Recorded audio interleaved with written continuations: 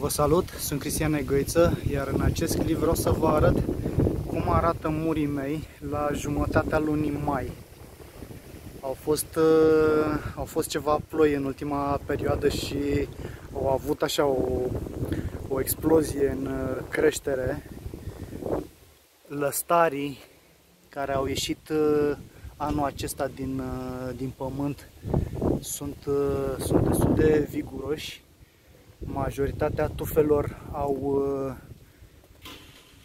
3-4 uh, lăstari, unele tufe au, uh, au uh, și 5 sau 6 lăstari. Au undeva la, la 50 de centimetri înălțime și sunt, sunt destul de groși, undeva la un centimetru jumătate, 2 centimetri grosime. Lăstarii de rod arată și ei la, la fel, la rândul lor arată foarte bine. Au în, au în jur de, de 30, 30 și ceva de, de centimetri și în curând vor începe să, să înflorească peste vreo 2-3 săptămâni. Eu zic că o să înceapă să apară mugurii și după aia florile. Ce am ce am observat, dacă țineți minte unii dintre voi, cei care v-ați uitat la clipurile precedente, v-am arătat cum am rupt uh, lăstarii de rod de la, de la sârmă în jos. Uh, pe unii lăstari principali au ieșit, uh, au ieșit din nou lăstari de rod, vedeți? Lăstarii care au fost de la bun început au acum 30 uh, și ceva de, de centimetri, sunt foarte mari, sunt viguroși, iar aceștia care au ieșit după ce i-am rupt sunt, uh, sunt mai micuți, au, uh, au undeva la, la 5 cm. Am rupt tot ce a fost sub sârmă, la fel au apărut, au apărut din nou lăstare. Acum sunt două explicații, nu știu ce să spun. Ori nu am rupt eu cum trebuie și au mai rămas ceva moațe mici pe aici prin jur, deși nu cred, pentru că dacă ar fi rămas, ăsta are, de exemplu, ăsta are 2 cm până în 2 cm. Iar ceilalți sunt foarte mari, deci mă gândesc eu că dacă nu i-aș fi rupt cum, cum trebuia, creșteau și ei împreună la fel. Ăsta are vreo 3 cm lungime, 3-4 cm. Deci se pare că au crescut uh, din nou. Asta cred eu cel puțin, asta este bănuiala mea. Că au, uh, au crescut din nou. Și dovada cea mai bună este aici, pe lăstarul acesta principal. Aici am uitat, într-adevăr, am uitat să, să rup. Probabil era mult prea mic și am uitat să, să rup uh, lăstarul acesta de rod de sub sârmă. Și clar a crescut are peste 20 și ceva de centimetri lungime. În schimb aici ăsta este mult mai mic, are, câțiva, are doar câțiva centimetri. Deci bănuiala mea este că au crescut din nou după ce am rupt ăsta l-am rupt și a crescut uh, din nou, altă explicație nu am, pentru că aici se vede clar, cel pe care l-am uitat a crescut la fel de mare ca și, ca și frații lui din partea de, de sus. Cred eu că, în ciuda multor critici că am uh, rupt rodul, că nu o să mai, uh, n-o să mai am rod, că am, uh, am rupt lăstarii de sub sârmă, eu cred că voi avea destul de mult rod din partea de sus până la, la prima sârmă.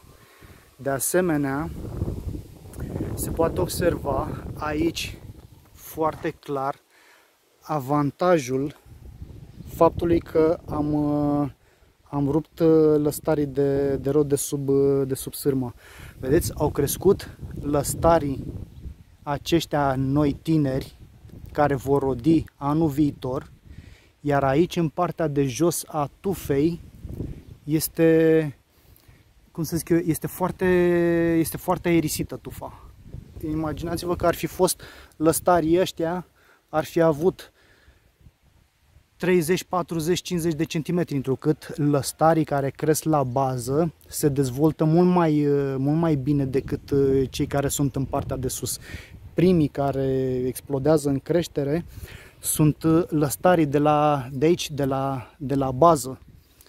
Foarte important, dacă lăstarul ăsta pe care l-am rupt creștea, așa cum am spus și în clipul uh, precedent, s-ar fi lăsat în jos de la greutate și ar fi, ar fi fost murele mele pline de pământ. În schimb, așa este foarte erisită și voi putea culege exact de aici până în partea de, până în partea de sus. Îmi place foarte mult că sunt, uh, sunt bine ordonați în rând, i-am, uh, i-am legat bine și i-am tăiat destul de bine, zic eu, în așa fel încât să, să, stea cum, să stea cum trebuie și să nu am crengi foarte, foarte mari, ieșite mult în afara rândului. Așa se vede și pe partea aceasta cu, cu gardul între, între lăstari și gard voi, voi avea suficientă distanță cât, po- cât să pot să mă deplasez pe aici și să, și să culeg. Vedeți exact ce vă spuneam. Arată foarte bine aliniați. Și aici se vede cum am lăsat mai, mai mari, doar lăstarii care au fost în rând, în paralel cu rândul, nu perpendicular cu rândul. Acesta ieșea mult din, din rând, era perpendicular cu rândul, l-am tăiat la aproximativ 10-12 cm. La fel ăsta, care era la fel perpendicular cu rândul, și ăsta este la fel tăiat la 10 cm, are doi lăstari de rod pe el, este arhisuficient. Aici la fel. A ieșit uh, mult din rând fiind perpendicular. L-am tăiat la, la 10 cm și acum are 1, 2, 3 lăstari de rod pe el. La fel uh, și aici. Și cred eu că asta este cea mai, uh, cea mai bună variantă. La fel îmi place mult cum, uh, cum s-au dezvoltat în partea de sus. I-am tăiat la înălțimea asta și practic rodul îl voi avea pe acești lăstari secundari datorită faptului că a fost uh, îngheț destul de serios pe, pe timpul iernii și a fost și zăpadă, nu, nu, am, uh, nu am prea văzut afide, decât foarte, foarte puține. Anul trecut uh, știți bine că a fost o explozie de afide, însă anul ăsta nu prea văd. Și îmi dau seama că nu prea sunt afide pentru că nu prea văd uh, furnici. Nici pe... Ah, abia aici, pe lăstarii tineri, văd... A, nu, este doar pământ, nu sunt afide. Văzusem pe câțiva lăstari mai în spate, dacă nu mă înșel. Da, aici clar trebuie să fie afide. Aici sunt uh, sunt furnici, deci clar trebuie să fie și afide. Dar uh, este destul de mare lăstarul acesta încât să nu mai fie acum afectat. Uitați ce, ce gros este la bază. Și mă, mă voi gândi dacă, dacă le voi face o stropire cu, cu ceva împotriva afidelor. Creșterea este un pic mai lentă față de anul trecut. Anul trecut, în perioada asta, dacă nu mă înșel, începeau să înflorească. Dacă nu mă înșel. Dar acum, pentru că au fost foarte multe nopți reci în ultima, în ultima perioadă, a fost o, o primăvară destul de, de complicată, s-a întârziat destul de mult creșterea. Aici, iar se vede clar că aici sunt, sunt afide. Da, sunt foarte multe furnici deci e clar că sunt, uh, sunt afide în zona asta. Da, le și văd exact în mijloc. În vârf, aici la vârful ăstarului de rod, unde urmează să se formeze florile. Aici văd uh, multe afide. Așadar, ca o concluzie, arată bine, sunt viguroși, sunt sănătoși.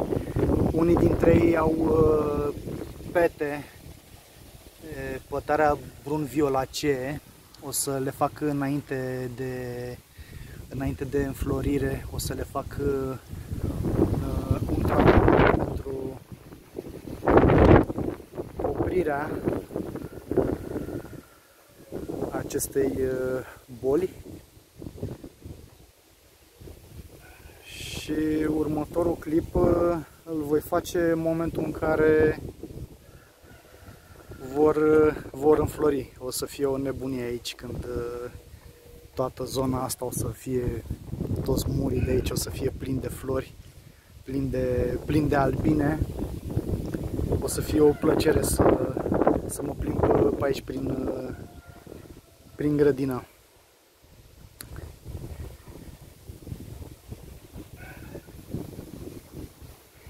Cam atât pentru astăzi. Vă salut, toate cele bune!